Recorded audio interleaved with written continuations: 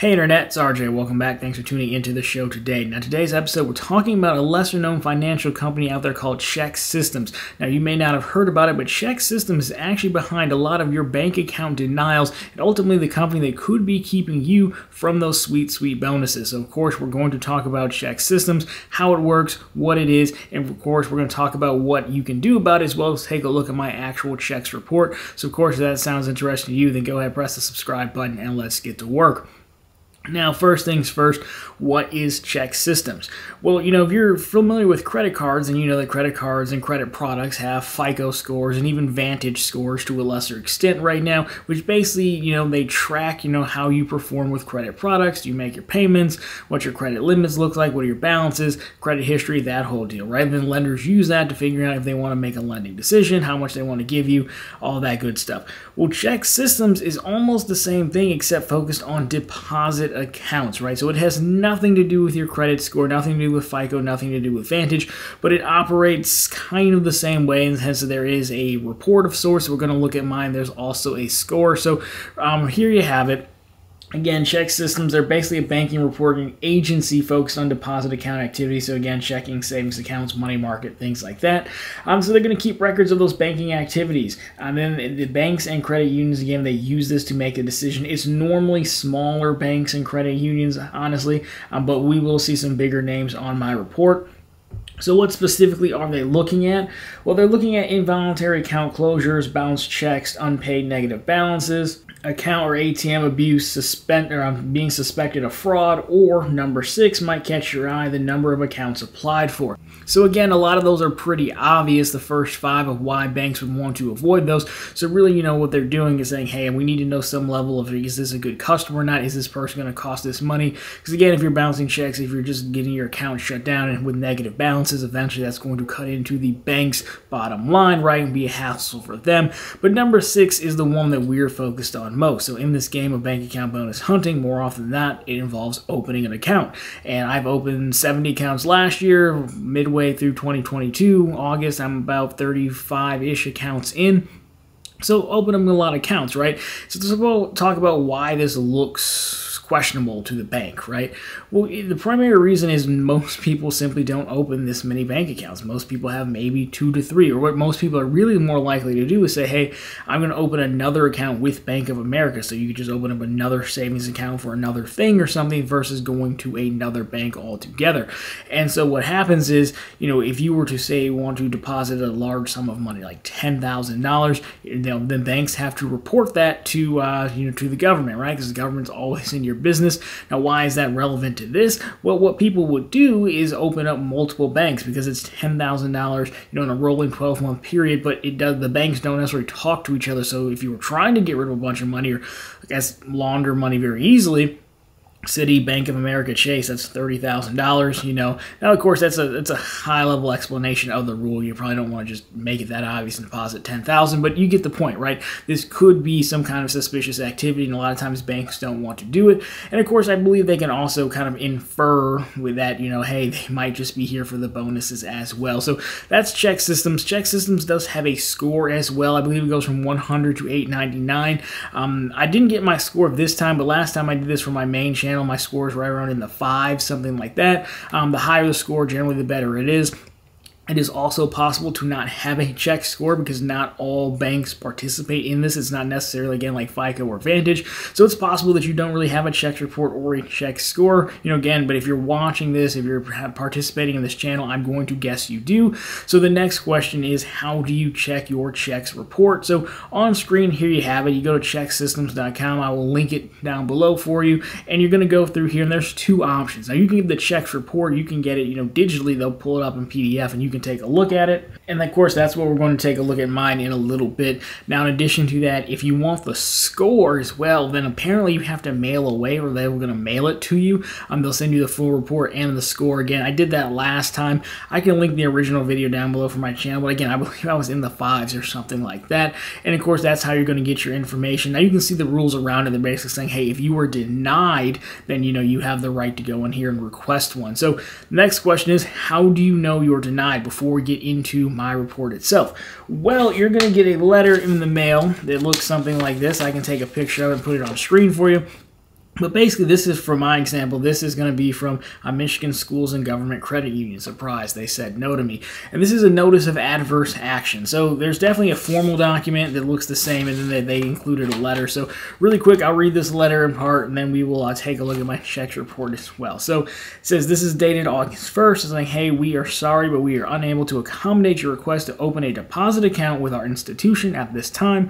Our decision was based in whole or in part on information obtained in a report report from the consumer reporting agencies listed below. You have a right under the Fair Credit Reporting Act to know the information contained in your file at the Consumer Reporting Agency. The reporting agency played no part in our decision and is unable to supply specific reasons why we have denied your request to open a deposit account in our institution. You also have a right to a free copy of your report from the reporting agency if you request it, if you request it no later than 60 days after you receive this notice. In addition, if you find that any information contained in the report you received is inaccurate or incomplete, you have the right to dispute the matter with the reporting agencies. Then they list ChexSystems as the agency. Now they also have this other here, this this um, adverse action notice, which again we'll just skim through it here. But at the bottom here, there's a part one principal reasons for credit denial, and that is at the bottom they say other but failed to qualify excessive inquiries with other banks, credit unions. Please visit a branch or location to open an account. We will talk about that. So that's what you get. That's how you're going to know. Now, more often than not the bank's going to cease all communication with you, right? You know, like you, it's basically like credit cards again. When you get approved, everyone's your friend. You get the instant app, instant approval. Sometimes they give you a digital card. With this, you're usually going to get a hey, we'll get back to you in some time, and then all of a sudden the letter will show up in the mail.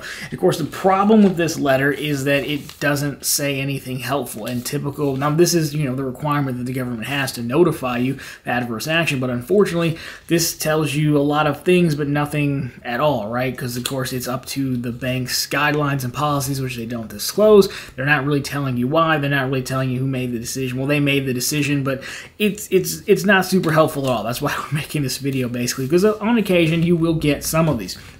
Now, as promised, let's take a look at my Chex report here. So I have it on the iPad here. So what I'll do is I'll put this on screen for you guys so you can see it. I'll just start a quick screen recording here. Now, we're not going to go through the entire thing, um, but what we have here is the uh, the reports. I just had to black out a lot of stuff. So ChexSystems, you can see when I pulled it. So here you go. The first page, not a whole lot there, but you can say ChexSystems clients, which consists mainly of financial institutions, furnish information on closed checking and savings accounts referred to as reported information. So there you go. They're basically just telling you what it is. So this is 36 pages long. I can tell you 33 of these pages have bank info. The last few pages are just kind of documentation stuff for their stuff. So here you go. Here's the last one, the one letter we just read, Michigan Schools and Governments. So what you'll notice here, I'm just blacking out social security, driver's license, and you know address, but you know, they don't tell you what they sent. They can just say that an inquiry was made, right? Um, which isn't super helpful because it doesn't tell you what information that they requested, you know, but again, they're all looking for all the trackers. So I would assume that, you know, they checks at least showing them all the negative balances, if you had negative balances, derogatory marks, things like that. But again, they can see all the accounts, you know. So get U.S. Alliance Federal Credit Union, Chartway, Veda denied me, Omni let me in, Sky One denied me, Fifth Third, they're a regional bank. Uh, they're you know fairly big, so they do it, but I still got in with them. Teachers Federal Credit Union, if you guys remember the disaster that video was. Now, BMO Harris Bank is good because I did apply in branch, but I opened four accounts with them, but see, there's only one inquiry. Premier Bank, um, I don't even remember what Civista Bank was. Um, Service Federal Credit Union, First Merchants America. So you get the point, right? We don't need to go through all of these, but Boeing, I don't even know why I would try to pretend to be a Boeing employee, but I tried. Pennsylvania, Michigan State, tried to be a student, didn't get in digital federal credit. So you get the point, right? This is basically what your Chex report looks like. This just goes on for like 36 pages total overall, but that is what the report looks like. And again, my score last time was somewhere in the mid fives. So overall, that is, again, that is going to be your Chex report. Now, you know, a few things here. I already touched on my anger towards the letters, right? Because again, I don't think these letters are helpful. They cause more questions than they really do, and they, they don't answer anything. It just says you're out because of checks. But again, I hadn't heard of Chex report before I started getting denied for bank accounts. No one really knows what that means. Now, the big question, though, is Does it matter? Do I care? Does this change my behavior? Well, you know, spoiler alert, since I said I made this video almost two years ago on the main channel when I started doing this, I know I don't personally care. And the reason I don't personally care that much, because again, it's not like credit. And number two, you can still see banks are letting me in, right? So it's just that some banks are sensitive to the amount of inquiries, amount of account opens. Fifth Third, apparently not. BMO, apparently not. Citi was on the list too. We just didn't get to that page, but they're not. They're really looking for the negative stuff and I don't have any of the negative stuff, so they're fine with that. And I still have hub accounts, right? So my Chase and my Ally are accounts that I'm always going to keep open because I can keep using them. Chase is always where I'm at, you know, branches, and sometimes I do need, you know, checks and cash and things like that. And then Ally is really easy to transfer money to, so it just works for me. I have my set account, so I'm not going to be out of a banking home anytime soon. It's not like I just need to get a new account. And, you know, the other thing is there's is potentially ways to get around this, and that is applying in branch. So we saw Premier Bank on that list. Well, with Premier Bank, they denied me due to checks. And then I went in branch, and then they didn't even make any mention of it. They opened the account right up even this letter here on the adverse action notice, it actually says down here, I put it up on screen, I can do it again, you know, failed to qualify, but please visit a branch location to open an account. So which means if I went and found a branch, they'd probably open the account. I don't know why they would say that, they had to type it in there. Someone typed it in there, right, because it's, it's in the other column. So, you know, it could probably be done. Perhaps they ask you some questions about it, but overall, Premier Bank didn't care, and this has happened to me before, and I go on branch, and it usually works. So for that reason, I don't really worry about my check score because I'm not closing accounts in a negative way. You always want to close on good terms, which means you basically you close with a zero balance and you wait then you wait the, however long you have to wait to keep the account open, normally 90 days or something like that.